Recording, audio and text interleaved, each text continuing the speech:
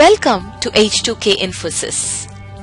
H2K Infosys is a e-verify business based in Atlanta, Georgia, United States. We provide 100% job-oriented, instructor-led, face-to-face, true live online software training programs. It also includes access to Cloud Test Lab with software tools. We provide live project for you to work on. We also provide assistance with mock interviews, resume preparation and review, and job placement assistance. H2K Infosys is trusted by so many students across the world.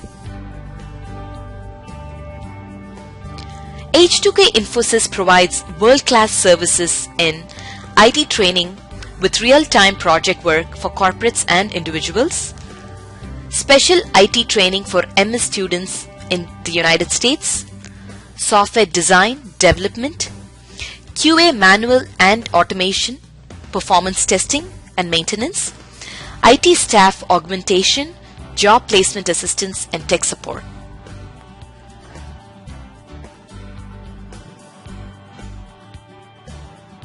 fax the order, login and log out. Do you see? We got to follow this, right? Now we have how many files over here? Can you count and tell me? One, two, three, four and five files are there. Okay. We are recording this login for five times. Logout is recorded for five times. Do you see? Okay. Then, so what is the drawback over here? It is wasting our time first of all. Okay. Every time we have to go on recording the same script. It is taking the space on our disk. Okay. And it is also taking out our effort. Then there is maintainability problem. Let me explain this maintainability problem. What exactly it means. Okay. Maintainability means, okay, in case the steps are changed. Currently we are entering the agent name. We are entering the password. Let's say developer has introduced one additional step. We should also enter the agent ID. I mean, I'm making an assumption over here. In case the developer adds a new step into this login that we got to also add the agent ID.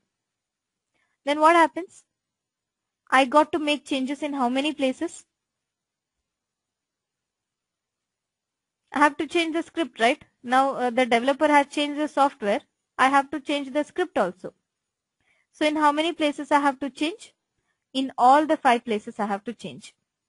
This is a maintainability problem. One small change and then you got to change so many files.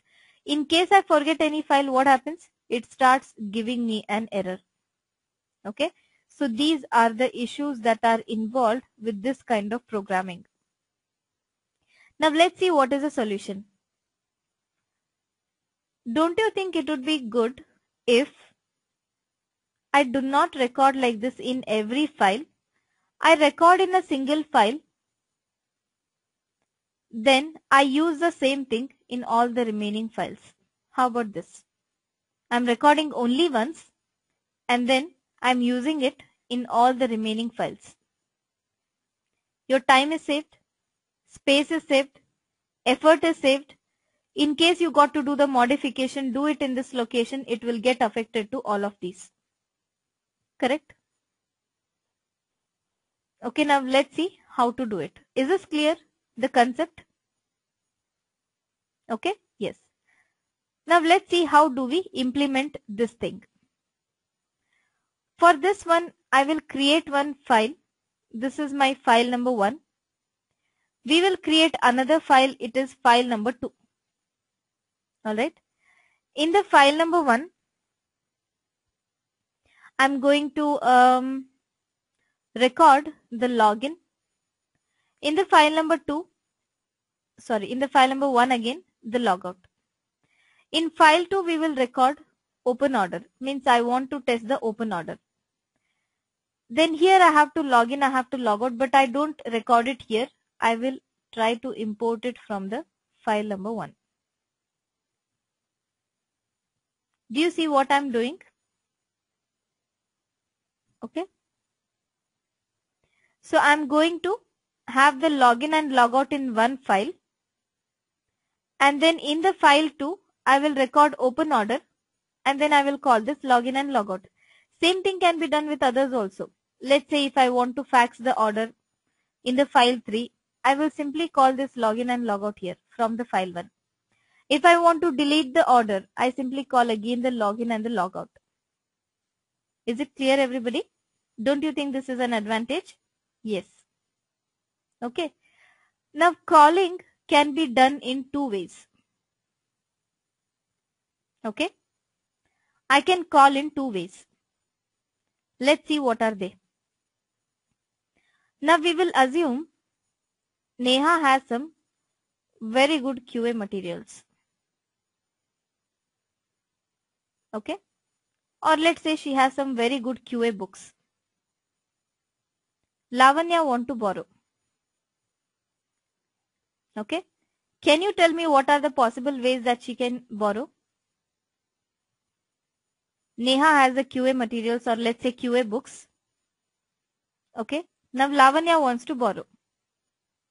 No Lavanya, we cannot email. Okay. These are books. The hard copy.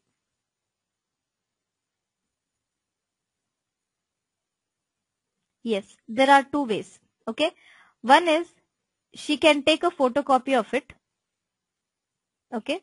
She can take the photocopy or whatever the Xerox you call it as, right? Okay. She can Xerox, she can make the photocopy and she can have one copy with her. This is one and this is another. Other way is they both can share. Okay. Whenever Lavanya wants the books, she is going to ask Neha. Neha will give her the books. She will read the books and she will return it back to Neha. This is like borrow. Or let's say we can share. Are these the two possible ways? Correct? Any doubts in this? Anybody? Okay, fine. So these are the two possible ways. Either Lavanya can make the copy of these QA materials, she can have her own copy or she can borrow the materials from Neha. Now tell me, you know, some answers over here. I'm going to ask you some questions. How many copies of books are there? In first case, in second case. How many copies? In first case? Exactly, two copies. In second case, very good. Only one copy is there. Okay. Which is with Neha. And what about the second one? Oh, sorry, the first one. Neha has one set of copy. Lavanya has one set of copy. Okay. Now coming to the permission. In first case, if Lavanya has to read these books, does she have to take a permission from Neha?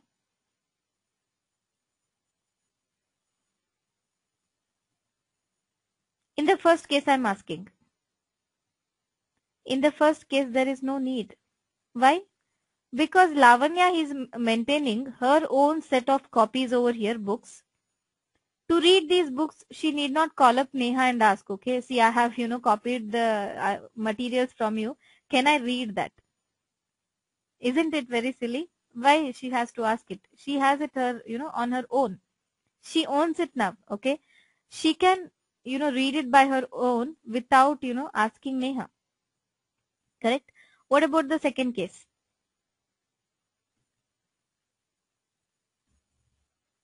She has to ask because here she is borrowing the materials from her. Okay, every time she wants to borrow, she is going to ask the permission of Neha, can I borrow the books? Then she will borrow, she will read again, return it back to her. Correct? Is it clear the first and second case, everybody? Okay, fine. Now coming to the modification. Okay. Now Lavanya has a habit of, you know, highlighting the important points in the books.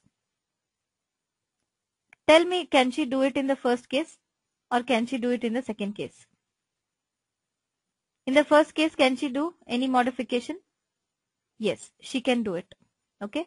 If she want to highlight important points or, you know, if she want to write something there in those books in the mid of the book, she can do it. It is her own book, right?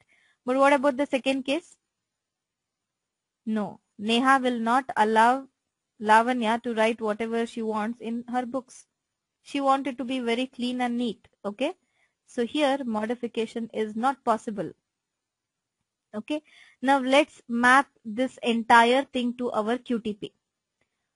File number one is nothing like, it is like Neha.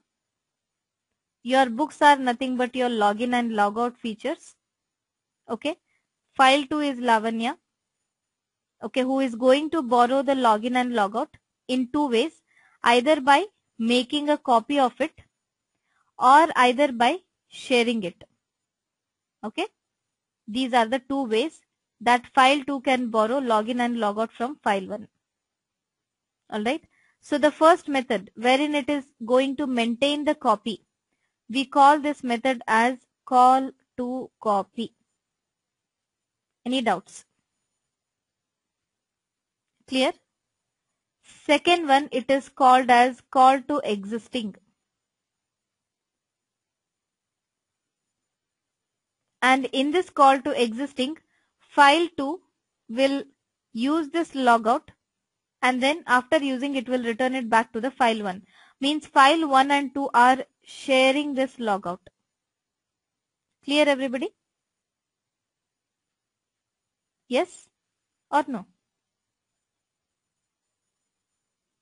See, it is simple.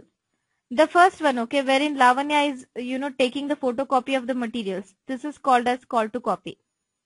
In second one, you know, wherein sharing is happening. This is call to existing. Here the books are being shared, but here the functionalities are being shared. Okay. Here Neha and Lavanya are sharing. Here file 1 and file 2 are sharing. That is it. Okay. Fine. Now here how many copies are there of the functionalities? Login and logout how many copies are there? In first case don't you think there are two copies? One is here, another is here. In second case, how many? One copy, which is in the file number one. Permission. Okay, here also we need to take the permission. File 2 has to take the permission of file 1. In which case it has to take the permission? In the first case or second case? Second case. And that permission we call it as reusability permission we have to make this logout as reusable if it has to be shared. Clear? What is it called? The permission here we call it as reusability. Okay? Yes, Rupa, it holds good for everything. Then modification. Okay? In this case, when it is copy, means here it is own copy of login, right? This is a login copy. If in the file 2 we want to make any modification, no problem. We can make it without affecting the login. Okay, here the modification can be done. What about this logout? This file 1 is not going to allow us modify this logout. It will not allow. Okay. Is this clear everybody? Any doubts? Shall we implement it using the QTP? Okay, I will just draw it again so that you know we can implement. I will prepare a design. File 1. Okay, we will do one thing. Instead of file 1, we will name it as Neha. Instead of file 2, we will name it as Lavanya. Okay. Then Lavanya has open order. Neha has login.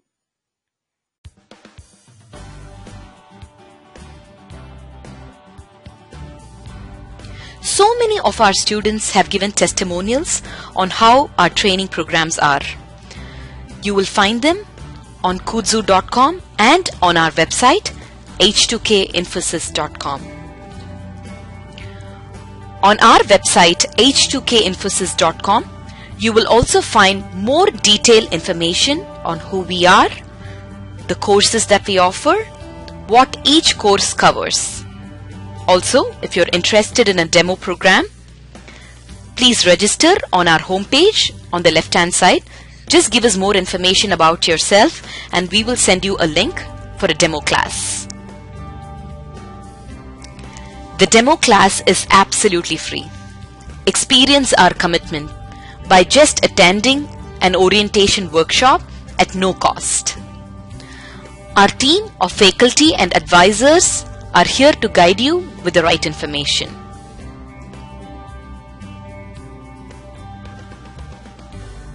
If you still have more questions, please feel free to call us.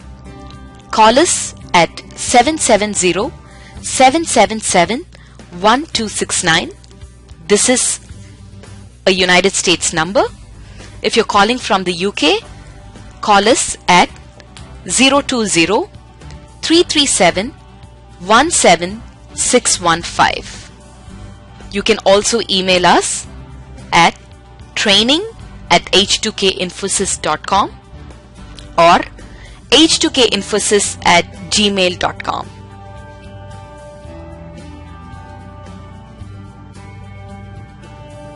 Thank you for watching our videos. We wish you a great career in information technology.